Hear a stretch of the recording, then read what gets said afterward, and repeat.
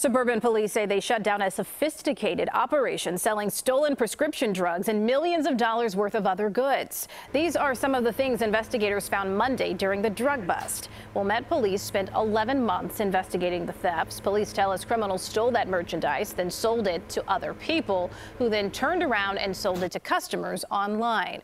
In total, police confiscated more than $2 million worth of items.